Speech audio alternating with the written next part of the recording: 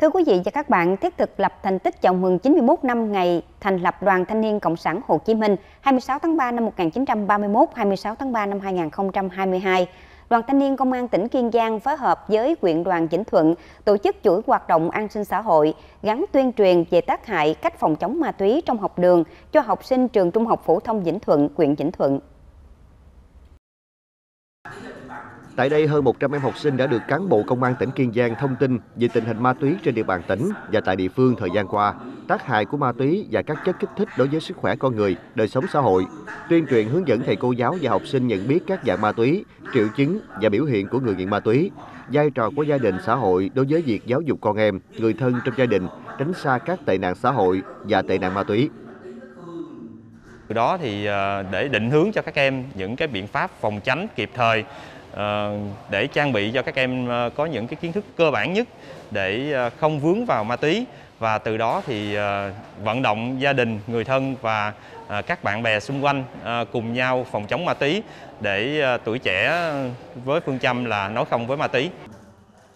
Với mục tiêu cùng cộng đồng tiếp sức chấp cánh ước mơ tương lai cho các em học sinh có hoàn cảnh khó khăn, đặc biệt trong tình hình dịch bệnh Covid-19 diễn biến phức tạp, Đoàn Thanh niên Công an tỉnh vận động trao 40 suất quà, mỗi suất trị giá 350.000 đồng, tặng 20 suất học bổng cho học sinh có hoàn cảnh khó khăn, mỗi suất trị giá 500.000 đồng và 1.000 quyển tập tại trường Trung học phổ thông Vĩnh Thuận. Đồng thời, Đoàn Thanh niên Công an tỉnh, huyện đoàn Vĩnh Thuận phối hợp đảng ủy xã Phong Đông tổ chức trao 50 suất quà cho bà con khó khăn, trao 15 suất quà và 5 chiếc xe đạp trị giá 1 triệu 500 000 đồng mỗi chiếc cho học sinh vượt khó học tốt của xã. Tổng trị giá các hoạt động 60 triệu đồng. Con lần đầu cũng được nhận xe đạp của nhà trường, của những mấy người cán bộ công an đã cho con, con rất là vui. Dạ con xin cảm ơn những người đã tài trợ cho con chiếc xe này và con xin hứa con học sẽ thật giỏi. Từ hồi tháng tư tới giờ dịch bệnh quá à, không có đi mần gì được hết trơn ở nhà không không có được đi mần gì bây giờ đằng à, hỗ trợ xuống đây cho được quà ăn gạo đồ đó tôi rất là cảm ơn. Xã Phong Đông là còn rất là khó khăn so với các cái à, xã bạn khác. Đó à, hộ dân hiện nay thì à, à, gần 4.800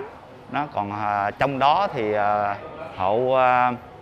nghèo à, rồi hộ cận nghèo hộ khó khăn đó thì à, trên à, 300 à, thay mặt à, đảng bộ và nhân dân à, trên địa bàn xã thì à, nó là rất là cảm ơn những cái phần quà của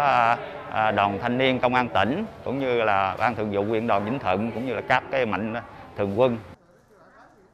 Thông qua các hoạt động an sinh xã hội ý nghĩa của tuổi trẻ công an Kiên Giang đã góp phần thiết thực chào mừng kỷ niệm 91 năm ngày thành lập Đoàn Thanh niên Cộng sản Hồ Chí Minh, lập thành tích chào mừng đại hội đoàn các cấp trong tỉnh, qua đó phát huy tinh thần xung kích tình nguyện của đoàn viên thanh niên trong lực lượng đối với các hoạt động vì an sinh xã hội, kịp thời hỗ trợ người dân và thiếu nhi có hoàn cảnh khó khăn, có điều kiện vượt khó sau thời gian bị ảnh hưởng bởi dịch bệnh Covid-19.